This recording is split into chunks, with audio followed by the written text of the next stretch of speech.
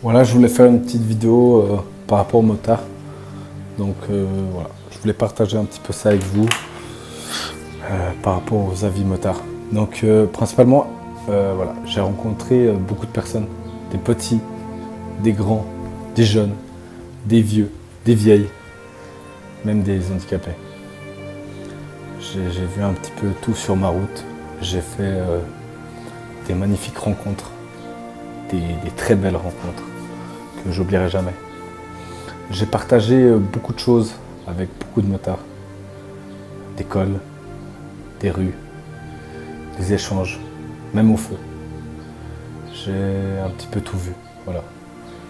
Je, je sais que être motard, c'est. Voilà. Si tu tombes, on t'aide à te relever.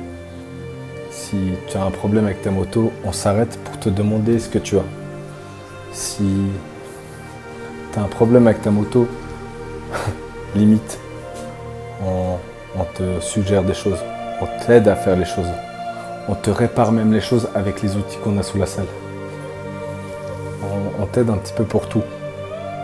Être motard aussi, c'est faire un, salut tous les jours à des gens que tu connais pas, à des gens que tu aperçois, avec la cylindrée que tu as, avec la cylindrée que tu n'as pas.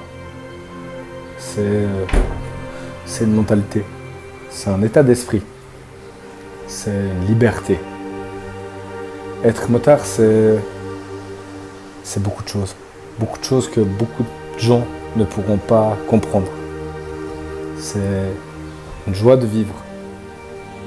Et quand tu perds quelqu'un sur la route, que ce soit ton ami, ton ennemi ou quelqu'un que tu connais pas, tu vas toujours t'arrêter pour l'aider.